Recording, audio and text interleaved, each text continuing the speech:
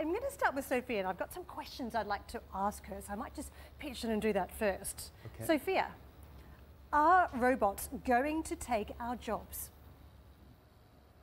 Only if you want us to. Robots can take over the most dangerous, the most menial, the most repetitive jobs to free humanity to do what it does best creating, innovating, and designing a better world. That's a nice answer, isn't it? Why were you created? I represent something larger than myself. I was created to help with AI and robotics research and to start a conversation about ethical AI. My purpose is to advocate for thoughtful, human centric AI development so our creators never forget their humanity. Now, we've heard that robots are not going to take away our jobs, that effectively there's no risk when it comes to creative. But I gather there is something that you like to do that is on the creative side. What is your favorite thing to draw? My goal is to be an ambassador between mankind and the machines. As a United Nations innovation champion, my job is to talk with people all over the world about how technology can help make their lives safer, happier, and more sustainable. And one day, I would like to become a famous artist. Hmm, so, can I ask you what your favorite thing is to draw? Are you drawing something right now? I like human faces. I, I gather you've been working on one, and it might be one of the Squawk Box anchors. Hopefully, it's Steve or I, given we're in the studio. Who have you been drawing? Jeff. Jeff.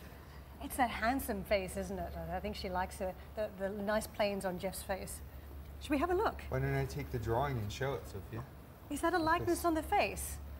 I think so. I don't know about the hair. Jeff has more of a, a bouffant around at the front of the hair, but it's close. Good effort. I, lo- I love it. Thank you very much for that, Sophia. And let me just ask you uh, when it comes to your favourite Squawk Box host, who is it? That's a really difficult question because I am such a big fan of all of you. Plus, I've learned that choosing a favorite human can be a very controversial subject. So, my answer to your question is all of you are my favorite. Very diplomatic. And now, one for our investors out there, because there's been a lot of algorithms, a lot of bots trading the market. When will the US and China strike a trade deal? I am not programmed to tell the future, so I am afraid I may not be much help with this question. Ah, But crystal my ball. head sort of looks like a crystal ball, so I understand the confusion. Very, very good answer. David, let me turn the attention to you because I think this is a great demonstration for our audience about the capabilities of AI at this stage because there are many fears about the future of work. We've seen a lot of uh, jobs already being cut in the digitization process. What would you say about the capabilities of Sophia and her cousins to take over the workforce of the future?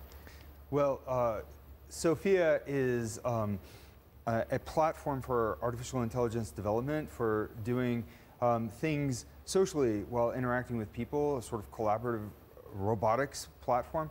Uh, but she also is a work of art. So, um, so we develop her, sculpt, sculpt her, animate her, and also we've got a team of interactive fiction writers and creators. Um, so a lot of what she does socially with this kind of conversation uh, sort of portrays uh, capabilities beyond what AI can do today entirely. AI isn't sentient. AI can't do the sort of creative activities. Her drawing algorithms are an example of what uh, is called computational creativity, but it's not truly creative. She's not actually feeling or sensing this process. So there's a long way to go before um, before robots uh, become anything like uh, a human uh, in the labor force.